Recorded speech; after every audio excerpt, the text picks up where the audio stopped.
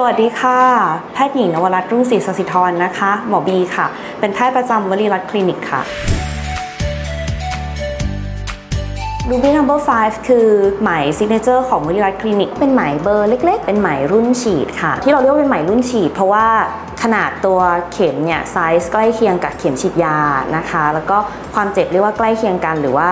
บางท่านบอกว่าน้อยกว่า เทียบกับการร้อยไหมนะร้อยไหมจะไหมเส้นขนาดใหญ่กว่า ต้องฉีดยาชานะคะทำการฉีดยาชาก่อนที่จะทำการร้อย ซึ่ง Ruby Number 5เนี่ยไม่ต้องเราใส่การแปะยาชาอย่างเดียวหรือบางท่านแค่ประคบเย็น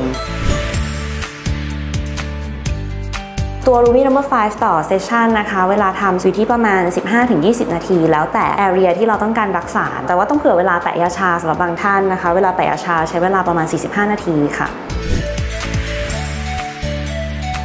เหมาะสำหรับคนที่มีอายุตั้งแต่ 20 เป็นต้นไปนะคะ ที่คอลลาเจนใต้ผิวเนี่ยเริ่มดรอปลง คนที่มีอาการหย่อนคล้อยในระดับที่น้อยถึงปานกลางหมอก็จะใช้ r e Number 5นะคะ ในการใส่เข้าไปใต้ผิวเพื่อแก้ไขภาวะหย่อนคล้อยสำหรับผู้ที่มีปัญหาเรื่องการหย่อนคล้อยมากนะคะ อาจจะต้องร่วมกับการรักษาชนิดอื่น เช่นการใช้เครื่องหรือว่าการร้อยไหมร่วมด้วยค่ะ ขึ้นอยู่กับการดูแลตัวเองนะคะ ส่วนมากถ้าดูแลตัวเองได้ดีเนี่ยสามารถอยู่ได้นานถึง 5 ปีได้เลยนะคะ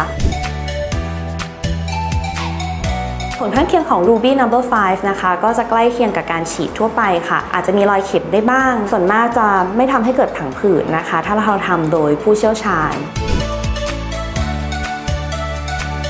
ทำซ้ำบ่อยได้ตามเท่าที่ต้องการนะคะ หรือว่าบาง area ที่มีการหย่อนคล้อยเพิ่มเติมก็สามารถมาเพิ่มเติม Ruby Number 5 ได้ค่ะ